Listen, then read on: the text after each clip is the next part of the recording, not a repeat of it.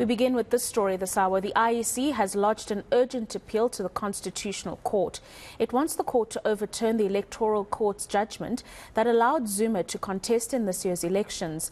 The Commission says Zuma cannot be a candidate because he was sentenced to 15 months in prison for contempt of court and wants the Electoral Court to provide reasons for its order.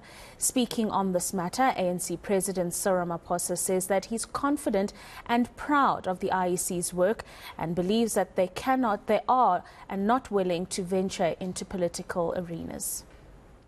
The IEC is an independent uh, entity of our state, and we've been very proud of the work that's been done by the IEC over the years, including now, that the IEC is able to consider matters very, very carefully, weigh up the various options, and uh, with this case, I do believe that they've done precisely that.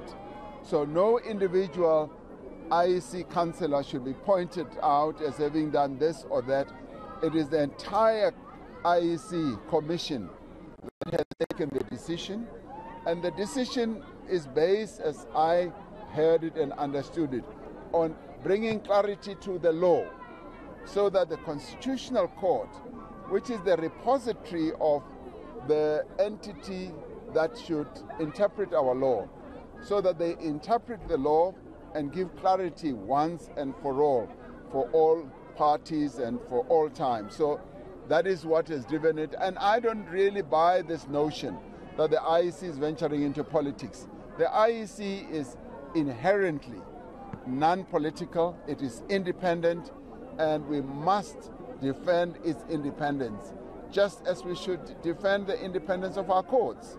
Uh, in our constitutional architecture, we decided that there will be entities that will resolve disputes amongst us. And the courts and now the IEC, which runs the elections, should be given the opportunity to do precisely that.